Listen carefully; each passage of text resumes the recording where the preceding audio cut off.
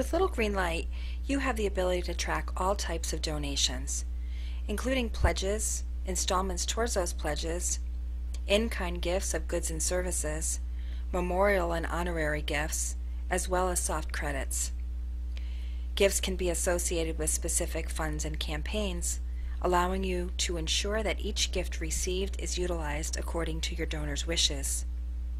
You also have the ability to associate gifts with appeals or events, allowing you to better track what prompted each gift and help you to evaluate the effectiveness of your outreach strategies.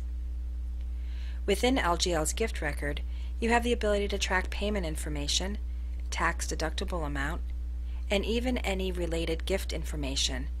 For example, who the gift was made in memory of, or which company will provide a matching gift. You even have the capability to attach a personalized acknowledgement to each gift and produce those acknowledgements in either email or printed format right from Little Green Light. When you choose to enter a pledge into Little Green Light, you have the ability to also track installments expected to be received towards that pledge over a specified period of time. In-kind gifts of goods and services can also be captured in Little Green Light. A note field allows you to capture the specifics of the gift.